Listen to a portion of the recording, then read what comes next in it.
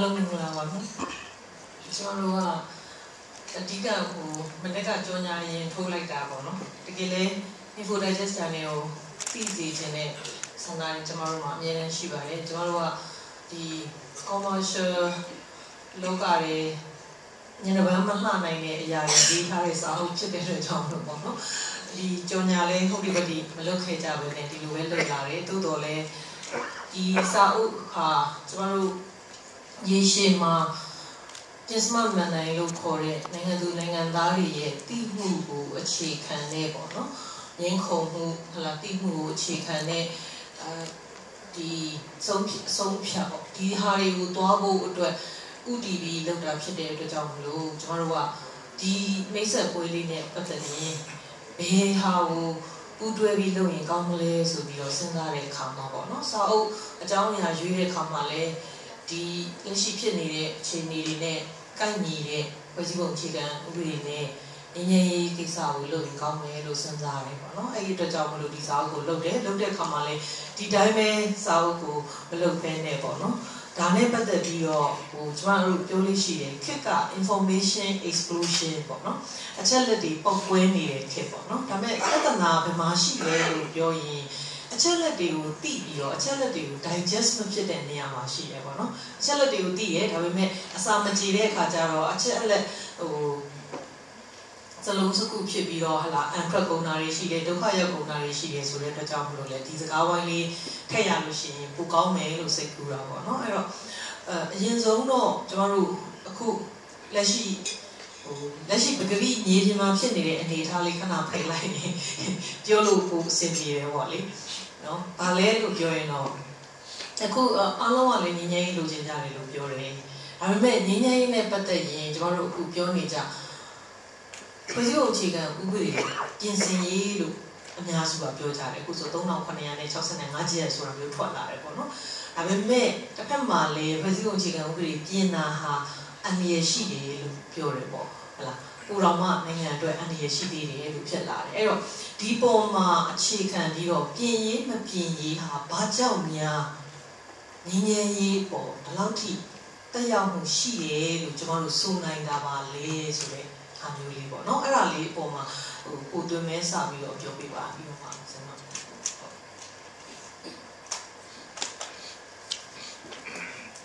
ုတ်လား ဟုတ်ကဲ့ဒီဆရာမမေးတဲ့ဟာပေါ့နော်ဒီရွေးကောက်ခုနပြည်သူ့အခြေခံဥပဒေပြင်ဆင်ရေးကဒီကျိုင်းပေါ်မှာဘယ်လောက်ထိဟိုတည်အောင်မှုရှိနေမှာနော်ဆိုတော့ဟိုဒါတော့ကျွန်တော်ထင်ပါတယ်ကျွန်တော်ညီငယ်လို့ပြောလို့ရှိရင်နိုင်ငံညီငယ်မရှိဘူးဆိုတော့ဒါကအလုပ်ကြီးအတိုင်းတိုက်ပွဲတွေဖြစ်ကြတယ်လက်နက်ကင်ပြပခါတွေဖြစ်နေတဲ့အခါကျတော့ညီငယ်ရမရှိဘူးနောက်ဆင့်တက်ကြည့်ရင်ဟိုဘာဖြစ်လို့ဒီတိုက်ပွဲတွေဖြစ်နေလဲဆိုတော့ကျွန်တော်တက်ကြည့်ရင်ဒီကျွန်တော်နိုင်ငံကဟိုဟိုဘာသာစကားတွေနောက်ခံရင်ကျေးမှုတွေ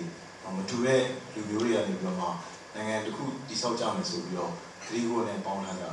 အဲ့တော့သူတို့အတွက်အဲ့ဒီဂရီပုံမှာတကယ်သူတို့အတွက်အာမခံခြင်းရှိဖို့ရှိနေတာ Federation ဖြစ်ဖို့ပဲဆိုတော့ဒါသူတို့တောက်လျှောက်ပြောလာကြတာမြန်မာနိုင်ငံလူလိုက်ရအောင်ဆိုတော့အဲ့ဒီ Federation မရတဲ့အပေါ်မှာဒါဒီလိုတိုက်ပွဲတွေဖြစ်နေတယ်ပေါ့နော်ဒါတုံ့တက်လို့ရတယ်ဆိုတော့လူလိုက်ရေးရောက်ပြီးခဲ့ရတယ်ကျွန်တော်တို့ဒီမြန်မာနိုင်ငံမှာဆိုရင်ဖွဲ့စည်းပုံအခြေခံဥပဒေကသုံးခုလောက်ရှိတယ်ဆိုတော့1949ခုနှစ်မှာလည်းဒီလိုမျိုးအောင်မခံ ဖယ်ဒရယ်အောင်မခံတဲ့အခြေအနေမျိုးမရှိခဲ့ဘူးဒါကြောင့်လည်းကျွန်တော်50ဟို58လောက်ဒီမှာဒီကိစ္စနဲ့ပတ်သက်ပြီးတော့မှစူးစူးညံ့ညံ့နဲ့ဆွေးနွေးနေကုန်ရတာမျိုးဖြစ်ခဲ့တာပေါ့နော်ဆိုတော့1994အခြေခံဥပဒေကတော့ကျွန်တော်တို့ပြောဖို့လို့တော့ပေါ့နော်တပါးဒီစနစ်အောက်မှာဒီ unitary ပုံစံနဲ့တွားခဲ့တယ်ဆိုတော့အခု2008ဖွဲ့စည်းပုံအခြေခံဥပဒေကလည်းဒါကိုကျွန်တော်တို့အာမမခံနိုင်ဘူးပေါ့နော်အာမမခံနိုင်တဲ့အတွက်ကြောင့်မလို့ဒါဒီလိုသစ္စာမျိုးတွေဖြစ်နေတယ်လို့ကျွန်တော်ကမြင်ရအဲ့တော့ခုနငင်းချမ်းရေးကို ပြည့်စည်တဲ့တိုက်ပွဲတွေကခုနဟိုဖယ်ဒရယ်မရှိလို့ဖြစ်တယ်ဒါပေမဲ့ဖယ်ဒရယ်ကိုတကယ်အာမခံနိုင်တာကဟိုဖယ်ဒရယ်ဆိုတာကျွန်တော်တို့ဟိုကိုစားခြင်းနဲ့အစားအစာပေါ့နော်သူမျိုးဆိုလည်းပြင်လို့ဒါပေမဲ့ဒါကိုထည့်စားဖို့ပကံအရေးကြီးဆိုရင်ပကံကကျွန်တော်ရှင်းတာကအခြေခံမှုတွေဆိုတော့ဒီအခြေခံမှုတွေကဒီဖယ်ဒရယ်စနစ်ကိုအာမခံရတယ်ပြီးတော့လို့ရှိရင်ဒီဖယ်ဒရယ်စနစ်ကိုတည်တည်ချာချာအဲရှည်ရှည်ကြာကြာတကယ်လို့ဒီနည်းနည်းနဲ့လုပ်နိုင်မှုဆိုရင်ဒီအခြေခံမှုရဲ့ဒီမိုကရေစီစံနှုန်းတွေနဲ့ပြည့်ဝဖို့လိုတယ်ဆိုတော့အဲ့ဒီခုရှိဖို့လိုတဲ့အခြေအနေမှာကျွန်တော်တို့ လက်ရှိမှာအတိတ်မှာရှိခဲ့တဲ့ပြည်သူ့အခြေခံဥပဒေအဲ့ဒါကိုကျွန်တော်အောင်ခံရတယ်ကျွန်တော်အောင်ခံနိုင်တဲ့အပေါ်မှာဒီပြဿနာတွေဖြစ်နေတဲ့အခါကျတော့ဒီပြည်သူ့အခြေခံဥပဒေရဲ့အားနည်းချက်ကကျွန်တော်တို့တကယ်ကိုတည့်ရဲ့ခုနနေချမ်းရေးဟိုတော်ပြီးထိနေတဲ့ပုံစံမျိုးတွေကျွန်တော်တော်ပြီးတွေ့နေရတယ်အဲဒါကြောင့်လည်းဟိုကျွန်တော်တို့ကအခုဒီ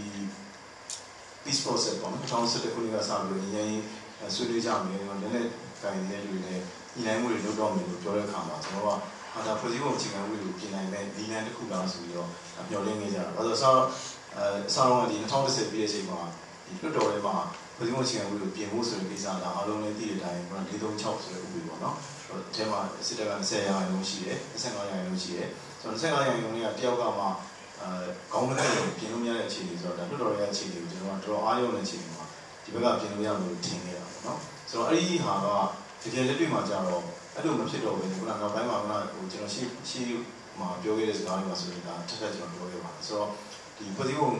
အခြေခံဥပဒေပြင်ဆင်ရေးကိုကျွန်တော်အပြင်းအထန်လုပ်နေနေပြီမဲ့ဒီလက်နက်ကင်ရေးနဲ့အစိုးရနဲ့ညီနိုင်မှုတွေသဘောတူညီချက်တွေကိုလွတ်တော်ထဲမှာပဲအတည်ပြန်ပြုရမယ်ဆိုတဲ့အခါကျတော့ဒါလွတ်တော်တွေကိုပဲတင်ရောက်တဲ့လုပ်ငန်းစဉ်ဖြစ်သွားတယ်ဆိုတာမျိုးတွေ့ရတယ်ဆိုတော့တဖြည်းဖြည်းနဲ့ကျွန်တော်ထင်တယ်အဲ့ဒီဟာကဟိုတိုင်းသားလက်နက်ကင်တွေလည်းမရှင်းခဲ့တာလားဒါမှမဟုတ်ရင်တည့်ရသားနဲ့သူတို့မှတခြားနည်းပဲသူစဉ်းစားတာရှိလို့လားဘယ်လိုလဲတော့မသိဘူးเนาะ အစတော့ကျွန်တော်ထင်တယ်သူတို့လည်းအဲ့လိုပဲမျှော်လင့်မယ်လို့ကျွန်တော်ထင်တယ်ဒီဟာကလွတ်တော်နဲ့ကင်းလို့တဲ့လုပ်ငန်းစဉ်တွေကိုလုပ်ပေါ့နော်။ဘာလို့ချို့တော့တိုင်းသားကောင်းဆောင်တွေကလည်းအဲ့လိုမျိုး interview တွေလုပ်တာကျွန်တော်တွေ့ရအောင်။ဒါပေမဲ့အခုကတော့ကျွန်တော်ထင်တယ်တော်တော်ကရှင်းတော့ဒီကဒီလွတ်တော်တွေကိုတော်တော်ပြန်သွားတဲ့ process ။ဘာလို့အားလုံးပြီးတော့မှဒီနည်းညီနိုင်မှုတွေအားလုံးပြီးတော့မှ union accord လို့ခေါ်တဲ့ပြည်သူ့ဘောတူညီချက်ထွက်မယ်စအဲ့လိုမျိုးမြင်တာပေါ့နော်။ဆိုတော့အဲ့ပေါ်မှာကျွန်တော်ဆက်လုပ်ရမယ့်ဟာတွေကဖွဲ့စည်းပုံပြင်တာတွေဖြစ်မယ်လို့ပြောနေတယ်။ဒါပေမဲ့ခုကဒီညီလာခံတစ်ခုချင်းတစ်ခုချင်းတိုင်းမှာ ရရှိတဲ့သဘောတူညီချက်တွေကိုသူကအဲလက်မှတ်ထိုးပြီးတော့တော်တော်လေးမှခါလေးတည်ပြတယ်ဆိုတော့သူကဘာဖြစ်သွားလဲဆိုတော့အဲ့ဒီအတည်ပြုလိုက်တဲ့အခြေခံမူတွေပေါ်မှာမိပြီးတော့မှဒီဖွဲ့စည်းပုံအခြေခံဥပဒေဒါမှမဟုတ်လို့ရှိရင်ခုနကျန်တဲ့တခြားဥပဒေတွေကိုဒီအတည်ပြုလိုက်တဲ့အခြေခံမူတွေပေါ်မှာမူတည်ပြီးတော့သူကပြင်ဆင်သွားမယ်ဆိုတဲ့သဘောမျိုးပြန်ဖြစ်သွားတယ်အဲ့တော့တေချာတယ်ဟိုလွတ်တော်ထဲမှာပြင်တော့၄၃၆ကိုဖြတ်ဖို့ဖြတ်ရမှာဆိုတဲ့အခြေအနေမျိုးပြန်ဖြစ်တယ်ဆိုတော့အဲ့ဒီမပြေလည်မှုရဲ့နည်းနည်းမှာအများကြီး တော်ပြီးထိခိုက်တယ်လို့ကျွန်တော်ထင်တယ်။ဘာလို့အခုစစ်တပ်ဆိုလို့ရှိရင်သူကဟိုသူ့ဘက်ကနှစ်ဆင့်ဖြစ်သွားတာပေါ့လေ။ဆွေးနွေးညှိနှိုင်းမှုတွေမှာလည်းသူကဟိုတောက်လျှောက်ပြောနေ2008ချိန်ကဥပဒေကသူကဖယ်ဖယ်ကိုအခြေခံပါတယ်။ဆိုတော့ဒါပေမဲ့အဲ့ဒါနဲ့သူကရက်ခံပြီးသူကပြောတယ်။ဒါပေမဲ့တကယ်လို့အဲ့ဒီကတွတ်ထွက်သွားရင်တော့တွတ်တော်ထဲမှာထပ်ပြီးတော့က436နဲ့သူကထပ်ကန်ထားရတဲ့အခြေအနေဆိုတော့အဲ့ဒီပုံမှာလည်းအခုတော့ဆက်သွားနေတဲ့ဒီ10ခွက်ဟို10ခွက်ပေါ့နော်။10ခွက်လက်မှတ်ထိုးထားတဲ့အဖွဲ့တွေမှာလည်းအဲ့ဒီပုံမှာကျွန်တော်ထင်တာ တက်ရောက်မှုတွေရှိပြီးတော့မှဟိုစိုးရိမ်ပူပန်လာတဲ့ဟာမျိုးတွေပေါ့နော်အဲ့မှာဒီစိုးရိမ်ပူပန်မှုကနေပေါ့ဒီငင်းငင်းပွဲတွေမှာဆက်ပါလို့ဖြစ်ပါအောင်လားဆိုတဲ့ယုံကြည်မှုကြော်နေတာတွေဖြစ်တယ်လို့ကျွန်တော်အဲ့လိုပဲမြင်တယ်။အဲ့တော့တကယ်လည်းဟုတ်တယ်သူတို့ကသူတို့ဆွေးနွေးတဲ့ဟာတွေအခြေခံမှုတွေ principle တွေဆိုတော့ principle တွေပေါ်မှာမှ policy ထွက်မယ် policy ကမှတော့ထပ်ထွက်မယ်ဆိုတော့ principle ဆိုတော့နည်းနည်းဟို general အရင်ကြာနေတာလေဆိုတော့ဒါတွေကိုတည်ပြုသွားရင်တော့မှဒီ idea ထွက်လာတဲ့အချက်တွေကတကယ်ခုနဟို ဘယ်လိုခေါ်မလဲဖွဲ့စည်းပုံအခြေခံဥပဒေကိုပြင်ဖို့ဆိုတာမျိုးတော့ပြီးတော့ထိပြီဆိုရင်တော့436ကခံလာဥပမာ Federal ဆိုရင်ကျွန်တော်တို့အတွက်အဓိကကြတာနိုင်ငံဖွဲ့စည်းဖို့အခုကျွန်တော်နိုင်ငံမှာတိုင်းတိုင်းခုနှစ်တိုင်းပြည်နယ်ခုနှစ်ခုဖြစ်နေဆိုတဲ့ကိစ္စကဒါတော်တော်များများလူတွေသဘောမကျဘူး။ဘာလို့တိုင်းခုနှစ်တိုင်းကဘလူကိုကိုစားပြုတယ်ဆိုတဲ့ကိစ္စကတော်တော်မိငုံထုတ်ဆရာဖြစ်တယ်။ဒါပေမဲ့ပြန်ကြည့်လိုက်ရင်ရန်ရှင်းနေတာကသူကသူ့ရဲ့ဒေတာကမဟုတ်တဲ့လူမျိုးတွေကဝင်ကြီးရတယ်ပေါ့နော်။ဆိုတော့အခုသူကဒီတိုင်းတွေမှာဆိုတခြားနေရာတွေမှာဆိုရင်ပြည်နယ်တွေမှာဗမာဝင်ကြီးရှိတယ်။သူတတ်မှတ်လူတွေရှိတယ်။ ဘာလို့လဲဆိုတော့သူ့ရဲ့ပြည်နယ်ခံလူမျိုးမဟုတ်တဲ့အတွက်အဲ့တော့တိုင်းတွေမှာဗမာဝင်ကြီးမဟုတ်မရှိဘူးဆိုကြတဲ့ကဒီ logic နဲ့စဉ်းစားကြည့်ရင်တိုင်းတွေကဗမာတွေရဲ့တိုင်းတွေဆိုတာဟာမျိုးသူဖြစ်တယ်အဲ့တော့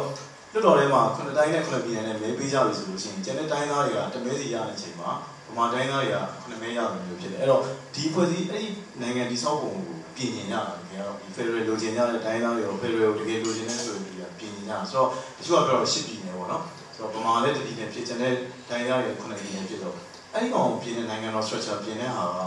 ကတော်တော်ခက်ခဲလုပ်ထားနေတာပဲမှာပါတယ်။ဒီလို6မှာဆိုရင်သူကအဲခုနဖွဲ့စည်းပုံအခြေခံဥပဒေပြင်ဆင်ရေးဥပဒေပေါ့ဒီလို6မှာဆိုရင်တော့15ရာခိုင်နှုန်းအထက်ကျော်သဘောတူအောင်လည်းပြင်ဖို့သူကတနိုင်ငံလုံး referendum လုပ်ပြီးမှပြင်လို့ရမယ်ဆိုတဲ့အခြေအနေတွေမှာခုနအဲ့ state structure ကပါတယ်။ဆိုတော့အဲ့ဒါကတော်တော်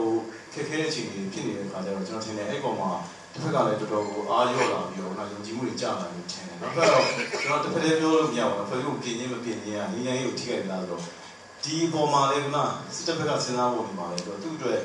ဟို unsecure ပေါ့အနေရှိလာပြီလို့ယူဆတာမျိုးတွေနဲ့ရှိသလားလို့ကျွန်တော်တွေ့လာတယ်။ဘာလို့ခုနကပြည်သူ့အခြေခံပြင်ဆင်မှုဆိုပြီးတော့စလုပ်တဲ့အချိန်မှာသူကပြင်တော့ပြင်လာမဲ့အနှစ်သာရမထိစေနဲ့ဆိုတော့ပြဿနာရဲ့အနှစ်သာရဘာလဲဆိုတဲ့ဟာကျွန်တော်မိလို့ထုတ်ဆရာဖြစ်တယ်။ဆိုတော့အနှစ်သာရက လူတယောက်ချင်းစီနဲ့မတူဘူးပေါ့နော်။ဥပမာကျွန်တော်ကပန်းသီးချက်တွေမဲ့ဒီဆီယမကဒွေးနီးကြိုက်နေကြိုက်မယ်ဆိုတော့ကိုယ့်ကြိုက်ကိုကိုကကိုယ့်နှစ်သာရလို့ပြောကြတာဟုတ်ဆိုတော့သူ့နှစ်သာရဘာလဲဆိုတာတော်တော်လေးကျွန်တော်ကမိကုန်ထုတ်ဆရာဖြစ်တယ်အဲ့တော့ကျွန်တော်ကတော့စရဲရဟိုနည်းနည်းလေးဒီပေါ်မှာသုံးသက်တဲ့ခါကျတော့2010စဖြစ်ကြရစစ်တပ်ကတချို့ကလည်းပြောတယ်ပေါ့နော်ဒီဟိုဟာ barrack ထဲကိုစစ်တမ်းရောက်ပြန်ဖို့အတွက်သူ့အတွက်လုံခြုံစိတ်ချရတဲ့အခြေအနေတစ်ခုဖန်တီးတာလို့တချို့အလုံးမြင်တယ်ပြန်တော့ပြန်မယ်ပေါ့နော်သူကတော့ကျွန်တော်တို့ကျတော့အဲ့လို အိမ်မမြင်ပြီးစစ်တပ်ကအစအလိုမျိုးပြောင်းတင်းတင်းဒီအာဏာကိုချုပ်ကိုင်ထားတဲ့ဆိုင်ပြောပြောပြောင်းဟိုပို့ပြီးတော့မှပါနေတဲ့နည်းနဲ့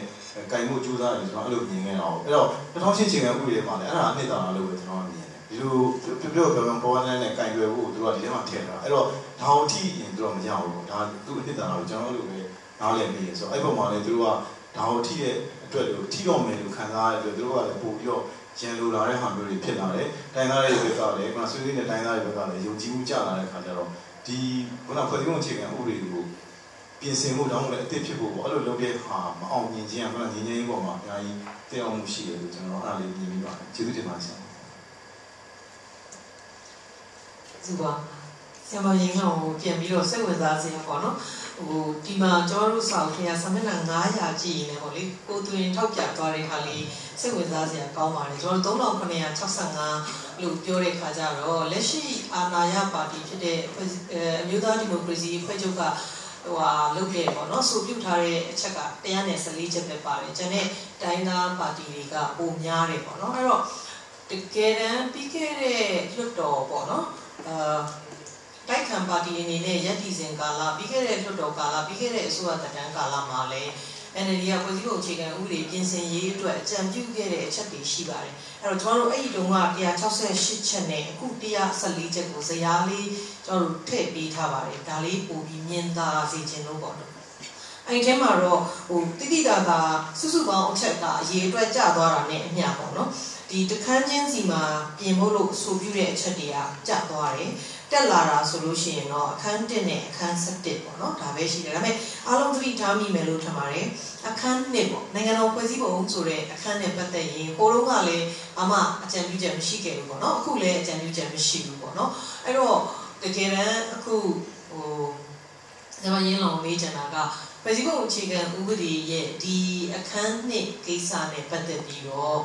ဟိုကိုသွင်ပြောလိုက်တဲ့စကားလုံးကိုပြန်ချိတ်ချင်တာပေါ့နော်အနှစ်သာရပေါ့နော်ဆိုတော့နိုင်ငံတစ်ခုရဲ့ဖွဲ့စည်းပုံကိုအနှစ်သာရအနေနဲ့ယူပြီးတော့ပန်းနိုင်ခုအနေနဲ့ယူပြီးသွားမယ်ဆိုရင်ဒီဟာရဲ့ကွာခြားချက်ဟာလက်ရှိအာဏာရပါတီမှာလည်းဟိုဒီအခန်းနှစ်နဲ့ပတ်သက်လို့လုံးဝ silent ဖြစ်နေတယ်သို့တော့အများစုကတော့ဒီအာတိုင်းသားနိုင်ငံရေးပါတီတွေကလည်းပြောနေကြတယ်ဆိုတော့ဒါဟာ ဟိုကျွန်တော်စိတ်ထဲမှာအမှန်တမ်းပြောရရင်လက်ရှိငញ្ញမ်းရေးလုပ်ငန်းစဉ်နဲ့ပတ်သက်ရင်လည်းဒီကိစ္စကတော်တော်လေးအဆင်မပြေဖြစ်တယ်ပေါ့နော်ကျမတို့ကတကယ်တမ်းလက်ရှိငញ្ញမ်းရေးလုပ်ငန်းစဉ်ကနောက်ဆုံးနိုင်ငံဘာဖြစ်ရမလဲဆိုတဲ့နောက်ဆုံးအဖြေတွေကိုတန်တန်ပြီးဆွေးနွေးနေကြတယ်ဟာဒါကိုတော့ကဇမရင်းအောင်လည်းကျမတို့ပြောခဲ့ကြဘူးတယ်ပေါ့နော်ဟိုလက်ရှိအနေအထားတွေပေါ်ကနေနောက်ဆုံး ဖြစ်ရမှာတွေကိုဆွေးနွေးနေကြပြီးတော့အဲ့ဒါတွေကိုဘယ်သူတွေနဲ့ဘယ်လိုသွားမယ်ဆိုတဲ့လုပ်ငန်းစဉ်ကိုဘယ်တော့မှကြည်ကြည်လဲလဲဆွေးနွေးခဲ့ကြတာမရှိဘူးပေါ့နော်ခုလိုဟလာတကယ်ကိုဟိုဇယားတွေဟလာ graph တွေထုတ်ပြီးတော့ဘာဘလို့ဖြစ်နေတယ်ဘလို့ပွဲကြနေတယ်ဒီဟာကိုရောက်အောင်လို့နော်နောက်ဆုံးရလက်အဖြေဆိုတာထွက်အောင်လို့ census ထွက်အောင်လို့ဘလို့လုပ်ရင်ကောင်းမလဲဆိုတဲ့ စိတ်ကူးမှုမျိုးဘာမှမပါတဲ့ငင်းငင်းလုပ်ငန်းစဉ်ကြီးပေါ့နော်ဒါကျွန်တော်အတွက်အဲ့လိုခံစားရတာဆိုတော့အဲ့ဒီဟာမျိုးရဲ့အဆက်အဆက်ပေါ့လေဒါနဲ့ပတ်သက်လို့ peace architecture ပေါ့ငင်းငင်းရေးကိုဘလို့ရောက်အောင်လို့ architect လုပ်ယူမလဲဘိသူကပုံဖော်ယူမလဲဆိုတာနဲ့ပတ်သက်ပြီးနည်းနည်းလေးဆက်ပြီးတော့ဖြစ်ပြီးဆွေးနွေးပေးစေချင်ပါတယ်တရားဆိုဆက်လို့လည်းရသွားပြီလို့ယူဆလို့ပါဟုတ်ကျေးဇူးပါကျွန်မမင်းကအခက်အခဲပြရတော့ အာအားလုံးမင်္ဂလာပါရှင်ကျွန်မနာမည်လင်းလာလို့ခေါ်ပါတယ်အမ်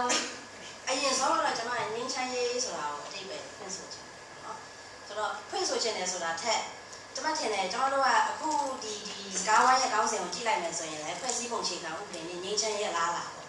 ဆိုတော့ဒါမဲ့အဲ့ငင်းချမ်းရေးဆိုတာကျွန်တော်တို့ကဘာလို့ဆိုလို့ချင်တာလဲပေါ့ဆိုတော့အခုကျွန်တော်တို့ခုနကကိုတင်ပြောလာတဲ့အောင်ချိတ်ဆက်ပြီးဆွေးနွေးမယ်ဆိုရင် ဒီအခုငင်းချမ်းရေးဆွေးနွေးပွဲလို့ခေါ်တဲ့ဟိုခင်းချင်းကြီးတွေမှာဆွေးနွေးနေကြတဲ့အစုဖွဲ့ရှိတယ်ဆိုတော့အဲ့ဒီအစုဖွဲ့တိုင်းတစ်ဖွဲ့ချင်းစီကိုတောင်းပြီးငင်းချမ်းရေးဆိုတာဘာလဲလို့တောင်းပြီးကြည့်တရားမှမသိဘူးဆိုတော့ကျမတို့ဒီရိုးရိုးတာမန်လွယ်လွယ်လေးနဲ့နားလည်အောင်ပြောရမယ်ဆိုရင်တမတော်သားတွေအတွက်ငင်းချမ်းရေးကတိုင်းရင်းသားလက်နက်ကိုင်တော်လှန်ရေးအဖွဲ့အစည်းတွေမရှိတော့တာကို ငင်းချမ်းရေးလို့ပေါ့တိုင်းရင်းသားလက်နက်ကိုင်တော်လှန်ရေးအဖွဲ့အစည်းတွေအတွက်ငင်းချမ်းရေးက civilian supremacy လို့ခေါ်တဲ့လက်နက်ကင်အဖွဲ့အစည်းတွေအကုန်လုံးအရက်သားအုပ်ချုပ်မှုအောက်မှာကုတ်ကဲမှုအောက်မှာရှိရမယ်ဆိုတဲ့အခြေခံကနေသွားတယ်။ဆိုတော့အဲ့ဒီနှစ်ခုကိုအဲ့ဒီနှစ်ဖွဲ့ကညှိနေတဲ့အခါမှာကျမတို့ဘယ်လိုငြိမ်းချမ်းရေးရမလဲ။ဘယ်သူအတွက်ငြိမ်းချမ်းရေးလဲ။တနည်းနဲ့က တော့ရမှာပဲငြိမ်းချမ်းရေးဆိုတာငြိမ်းချမ်းသွားပြီဆိုပြီးပြောကြမှာပဲ။ဒါပေမဲ့အဲ့ငြိမ်းချမ်းသွားပြီဆိုတဲ့အခြေအနေကဘသူတွေကိုအကျိုးပြုနေတဲ့ဘသူတွေလိုလားတဲ့ငင်းချမ်းရေးလဲဆိုတာကိုလည်းကျွန်တော်တို့အမေတို့ပြောဖို့အရေးကြီးတယ်။ဆိုတော့ဒါဟိုငင်းချမ်းရေးနဲ့ပတ်သက်ပြီးကျွန်တော်တို့စဉ်းစားတဲ့အခါမှာငင်းချမ်းရေးအလားအလာလို့ပြောလိုက်တာနဲ့နံပါတ်1ကျွန်တော်တို့ငင်းချမ်းရေးဆိုတာဘာကိုပြောချင်တာလဲဆိုတာကိုကိုကိုယ်တိုင်အတွက်ရှင်းဖို့လိုတယ်။ ဆိုတော့ကို define လုပ်ထားတဲ့ကိုအတိတ်ပဲဖွင့်ဆိုထားတဲ့အတိတ်ပဲဖွင့်ဆိုချက်နဲ့ကိုက်ညီမှုမရှိတဲ့ငင်းချမ်းရေးမျိုးကကို့အတွက်ငင်းချမ်းရေးဟုတ်သလား။သူများအတွက်ငင်းချမ်းရေးပဲလားဆိုတဲ့ဟာကျွန်တော်တို့အတွက်အရင်အခြေခံကြတဲ့မိဖို့ဖြစ်တယ်လို့ကျွန်တော်ဒါပထမအဦးဆုံးအချက်ပေါ့နော်နောက်တစ်ဆင့်သွားမယ်ဆိုရင်ဖွဲ့စည်းပုံအခြေခံဥပဒေအခုကျွန်တော်တို့ပြင်ဖို့ကြိုးစားတယ်ဖွဲ့စည်းပုံပြင်ရင်ငင်းချမ်းမလားမငင်းချမ်းဘူးလားဆိုတာရှိတယ် ရှိတော့ခုနကကိုတင်ပြောတဲ့ဟာမျိုးပဲအာအာအန်ဒီရရှိတယ်လို့အာမဖြစ်ဘူးလို့ဆိုတော့ဘုရုတက်ပြင်တာတချို့တချို့တော့လူတွေတမရဖြစ်လာနိုင်ဖို့အတွက်ပြင်မဲ့ဖွဲ့စည်းပုံအခြေခံဥပဒေပြုပြင်မှာပါဒါမှမဟုတ်ရင်လည်းတနိုင်ငံလုံးအတိုင်းအတာမှာ ဒီမိုကရေစီနီးလန်းကြကြ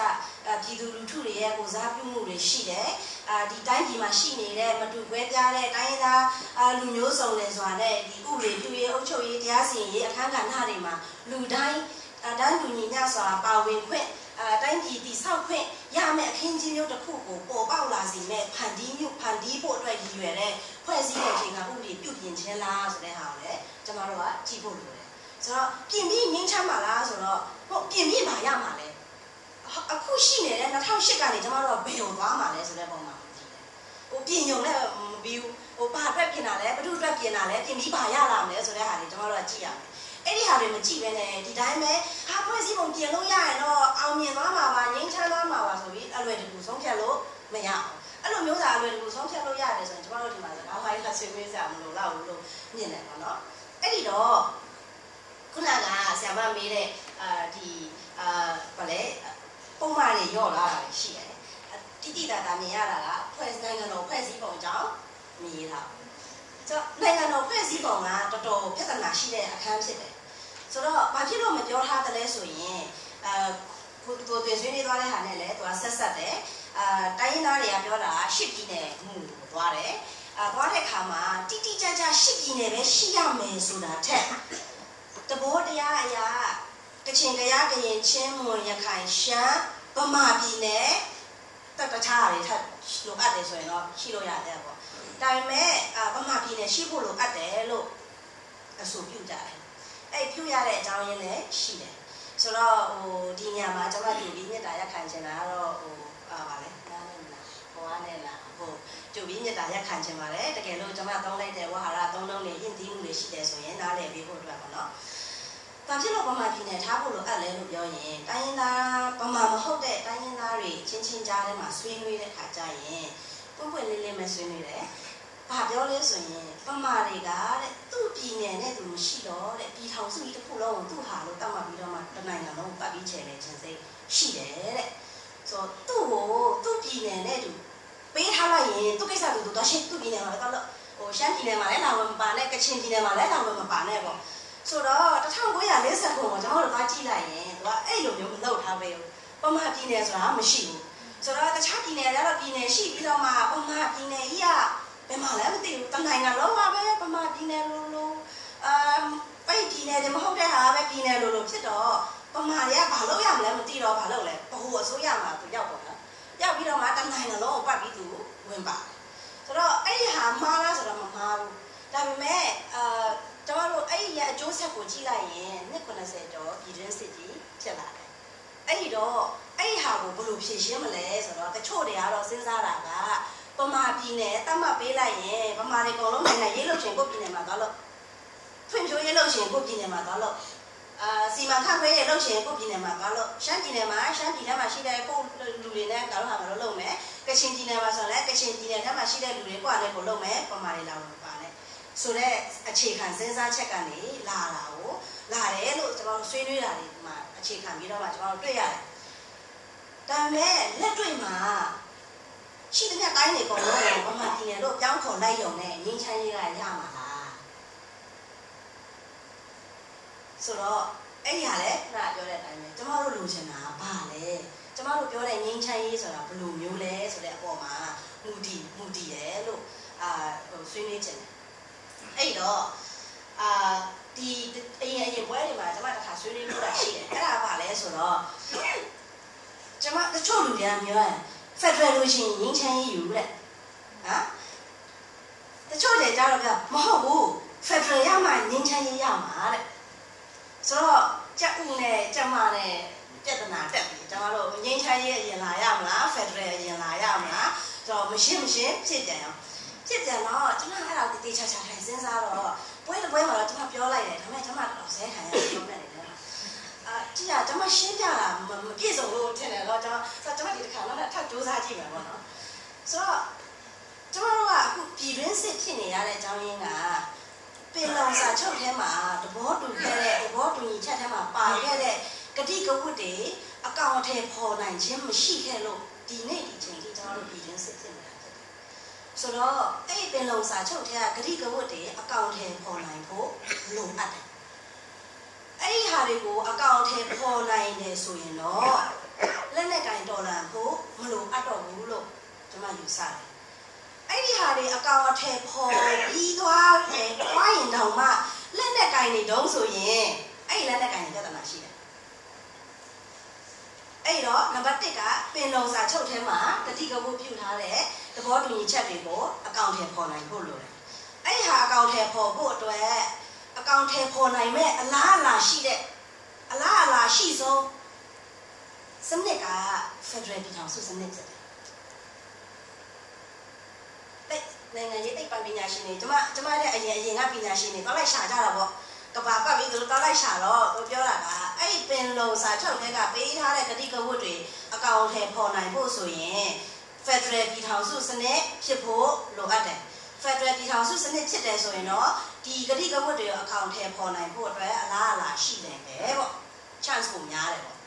ဆိုတော့အဲ့ဒီအတွက်ကြောင့်မလို့ကျမတို့က Federal စနစ်ကိုပြောတာ Federal စနစ်ရပြီဆိုရင်ဂတိကဝတ်တွေကိုအကောင့်ထဲပေါ်နိုင်မယ် ဂတိကဝတ်တွေကိုအကောင့်ထဲပေါ်နိုင်တယ်ဆိုရင်ကျမတို့ကညီချိုင်ပြည်တွင်းစစ်အာ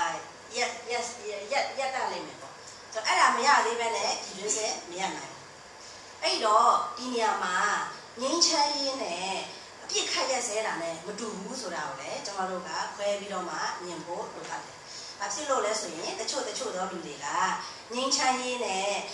အပြစ်ခတ်ရစဲရေးနဲ့အတူတူပဲလို့အာရောတုတ်လုပ်တဲ့လုပ်လုပ်ချင်တဲ့လူတွေရှိတယ်ရှိတော့ Federal လို့ချင်းရင်ငင်းချမ်းရေးရအောင်ယူရမယ်ငင်းချမ်းရေးရချင်တယ်ဆိုရင်အပြစ်ခတ်ရစဲပါလို့ပြောတယ်အဲ့ဒီ logic ကမှားတယ်အဲ့ဒီအဲ့ဒီအခြေခံနဲ့စဉ်းစားရအဆင်မပြေဘူးဆိုတော့ Federal ရဖို့အတွက်ဆွေးနွေးဖို့လိုတယ် ဆွေးနွေးဖို့အတွက်အပြစ်ခတ်ရက်စဲဖို့လိုတယ်။ဒါပေမဲ့အပြစ်ခတ်ရက်စဲတာငြင်းချမ်းသွားတာမဟုတ်။အဲ့ဒီဟာကိုမရှင်းသေးတဲ့ရွေးတာကျမတို့ရဲ့ငြင်းချမ်းရေးအလားအလာပြဿနာတော်တော်ရှိတယ်။ဆိုတော့ချုပ်ပြီးပြောရမယ်ဆိုရင်ကျမရဲ့အမြင်မှာကျမတို့နိုင်ငံမှာကျမတို့သွားချင်တာကငြင်းချမ်းစွာအတူတကွရှင်တွဲနေထိုင်နိုင်ရေးကိုမျှော်လင့်ကြတယ်လို့ကျမယူဆတယ်။ အဲ့ဒီလိုမျိုးငြိမ်းချမ်းစွာအတူတကွရှင်တွဲနေထိုင်နိုင်ဖို့အတွက်ဟောဆောင်ပေးနိုင်မဲ့စနစ်က Federal ပြည်ထောင်စုစနစ်ဖြစ်တယ်။ဒါပေမဲ့2008လဲ Federal ပဲလို့ပြောတဲ့လူတွေကရှိတယ်ရော။အာအခုအမျိုးသားဒီမိုကရေစီအဖွဲ့ချုပ်ကတင်ထားတဲ့ဟာလဲ Federal မူကိုရောက်စူးစမ်းပြီးသွားနေတဲ့မူပဲလို့ပြောတယ်။1130မှနှစ်ချက်တင်ထားတဲ့ SNLD ရဲ့မူကလည်းဟာဒါရှားမူလားဖက်ဒရယ်မူပဲအဲ သူတို့ပြောတယ်အဲ့ဒီတော့ဘယ်တစ်ခုကဖက်ဒရယ်လဲရှင်းရှင်းလေးပြောမယ်ဆိုအကုန်လုံးဖက်ဒရယ်ဟုတ်တယ်ဒါပေမဲ့အဲ့ဒီဖက်ဒရယ်တွေကကျွန်တော်တို့သွားချင်တဲ့အန်တီမပန်းနိုင်ငင်းချမ်းစွာအတူတကွရှင်တွဲနေထိုင်နိုင်မဲ့လူမှုအတိုင်းဝိုင်းကြီးတစ်ခုကိုတိဆောက်ပေးမဲ့ခေါ်ဆောင်ပေးမဲ့ဖက်ဒရယ်ဟုတ်သလားမဟုတ်ဘူးဆိုရင်အဲ့ဒီဖက်ဒရယ်ကျွန်တော်တို့အတွက်ဖက်ဒရယ်မဟုတ်ကျွန်တော်တို့လူရှင်တဲ့ဖက်ဒရယ်မဟုတ်ဟုတ်တယ်ဆိုရင်အဲ့ဒါပဲကျွန်တော်တို့လူရှင်တဲ့ဖက် ဒါပေမဲ့အဲ့ဒါတိတိကျကျပါလဲဆိုရင်တော့အရင်ကြီးနေပြည်တော်ဆာလွန်းနဲ့ကျွန်မတင်တယ်ကျွန်မပြောတာဆာလွန်းမျိုးရှိပါတယ်